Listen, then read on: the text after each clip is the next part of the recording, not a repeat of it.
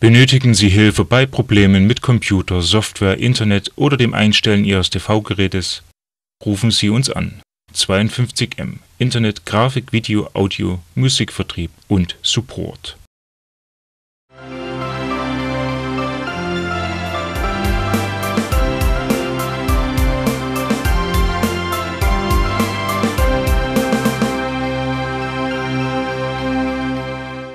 Am Dienstag konnte nach dreijähriger Bau- und Planungszeit das Pflegeheim am Wasserturm seiner Bestimmung übergeben werden.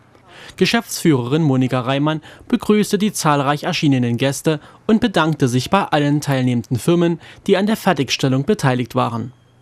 Im Anschluss begrüßte eine Kindergruppe des Kindergartens Spatzennest die Anwesenden und Monika Reimann übergab an die Leiterin der Einrichtung einen Scheck über 200 Euro sowie kleine Präsente. Zum einen begleiteten die Kinder in der Vergangenheit das Bauvorhaben und zum anderen werden sie in Zukunft die Heimbewohner von Zeit zu Zeit mit kleinen musikalischen Ständchen unterhalten.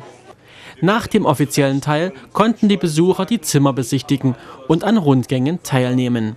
Insgesamt bietet das Pflegeheim am Wasserturm 54 Zimmer, wobei sieben davon behindertengerecht ausgebaut wurden.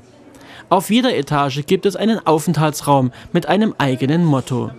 Ob nun volkstümlich in den Bergen oder doch am Strand das Meer genießen, die liebevoll eingerichteten Räume laden zum Verweilen ein. Rund 30 Mitarbeiter kümmern sich in Zukunft um die Belange der Heimbewohner und bis jetzt sind drei Viertel der Zimmer schon belegt.